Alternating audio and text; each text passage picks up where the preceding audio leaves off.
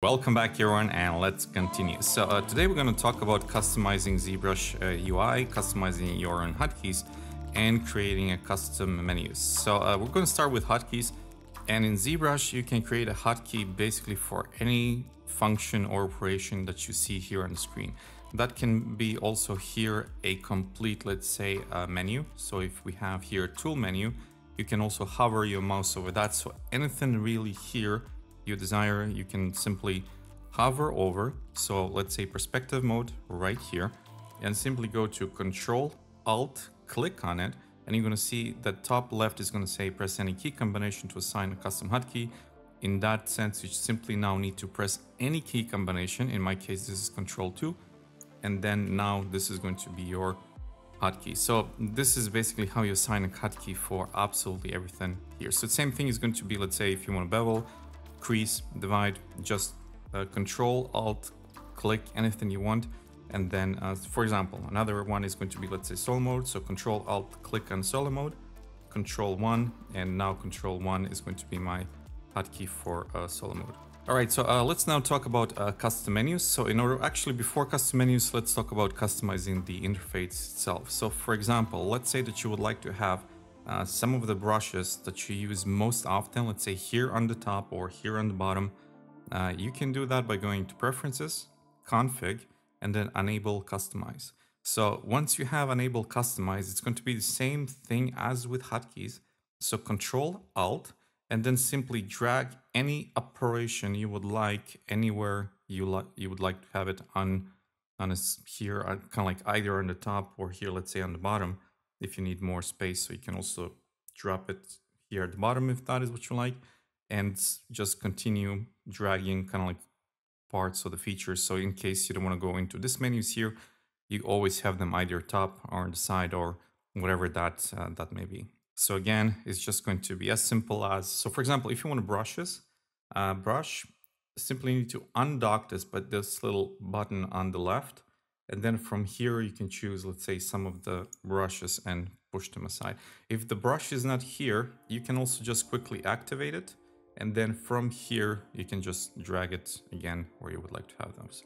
If you're not satisfied with this, if you would like to start over, you can go to preferences, enable customize, disable that, and then simply restore standard UI and then you can start again from the beginning if that is simply what you didn't uh, didn't like. Uh, all right, so let's now talk about custom menus. So custom menus are going to be similar in the sense that we go to config, enable customize, and then custom UI. So here we can create a new menu. menu. So just so let's say uh, menu, I don't know, and then that menu is going to appear right here. So you're going to see it right here. It's going to be empty. So good thing would be to kind of like undock it and just kind of push it here, let's say to the side.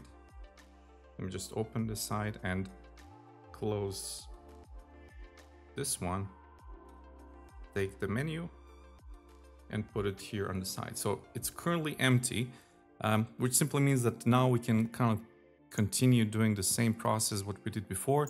So again, control, alt, click and drag. So just click and drag whatever you would like to uh, have. So let's say duplicate, delete, and you can also go here on the preferences and take one of these select separators and kind of create simply empty spaces uh, below so that you have, let's say, more kind of like uh, organized menus like this.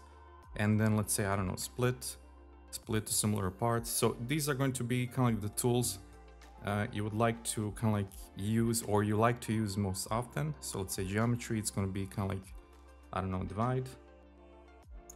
And then we're gonna take, let's say creasing on the side and crease all. So again, I'm just using control, alt, click and drag.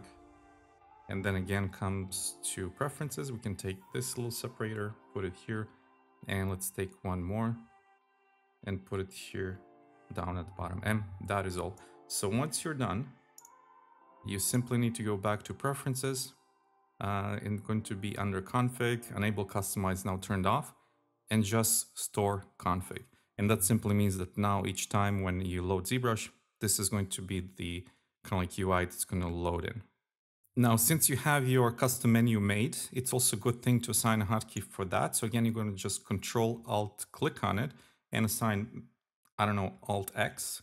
And so each time now you press Alt X, it's going to pop up on your screen right here. So again, you don't need to search for those features. Here, you're always going to have them on top of your kind of like uh, pen.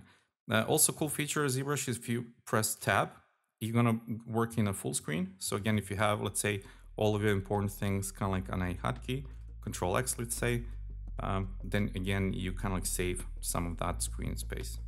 Uh, all right, so let's now talk about colors a little bit. So colors, this is something that we covered in a previous uh, video. So here, if you go under uh, document, here where it says back, you can simply click and drag and choose, let's say, which color you would like to have as a background.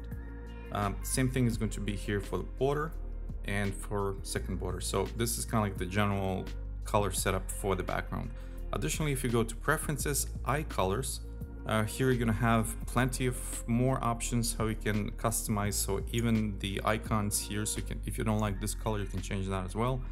And it's going to work similar.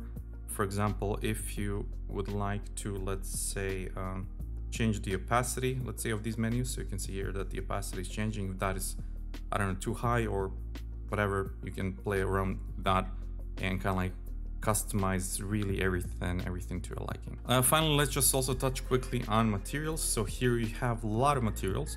And if let's say you would like to create your own material that also starts up each time with ZBrush as well, you simply need to go to material, modifiers, and here, for example, what I like to do is just turn the ambient off, diffuse slightly off and increase slightly a little bit specular, not too much though. So kind of like middle let's say 0.2 and 0.35, something like that. Point, 0.2 and 0.3. And this is going to be enough. So it's going to be also maybe a good idea to so like try it out with different brushes. So for example, if you would use H-Polish, uh, especially when talking about a hard surface that once you're using, let's say these type of brushes that you see really nice highlight on those corners. So that is going to be kind of like really important to have a good material that represents and uh, that represents hard surface workflow where we see those edges a little bit more, uh, let's say cleaner or a little bit more defined than by default. Uh, also just one small note, which is regarding the lighting. So if you go under render, preview shadows, uh, this is something usually I like to leave on a default. Just be aware if you turn deep shadow on, uh, sometimes what may happen is that we see, let me just quickly do here something, uh, that you may see, let's say ridges or panel openings that they might appear deeper as they actually are. So let's say if you wanna, I don't know, decimate this, export and render, you might actually notice, okay, so my panel breaks are not as deep as I wanted them to be. So just make sure the deep shadow or uh, object shadow is not all the way, all the way up. So 0.3, I just leave it on default. And also uh, preview ambient occlusion I just turned that on. So this is kind of like what I have on and this is by everything by default. So just kind of like small note uh, small note about that and again yeah once you're done with all of the adjustments you simply need to go to preferences uh, config and then you're gonna store config and save UI so if you want to save that UI so whenever you let's say move to different uh, workstation you can take uh, the UI and hotkeys with you same thing with the hotkeys. If you want to store the hotkeys, save the hotkeys, uh, you can do that here. Uh, interface, one small note is also interface buttons you can change too. I have them on 46. Uh, I would not go lower than 44. You're gonna see that it start to, it may start to look a little bit uh, weird. But also if you want to change the button sizes and all that, you can also change that here. But yeah, more or less these are kind of like the general, the general changes that I did. And I can also show you, so config, restore custom UI. This is kind of like my UI um, with my color settings. And these are so like the custom menu that I use. This is uh, one of the custom menus and this is the second. So I just have these two. So I have control E, actually uh, alt E and alt D.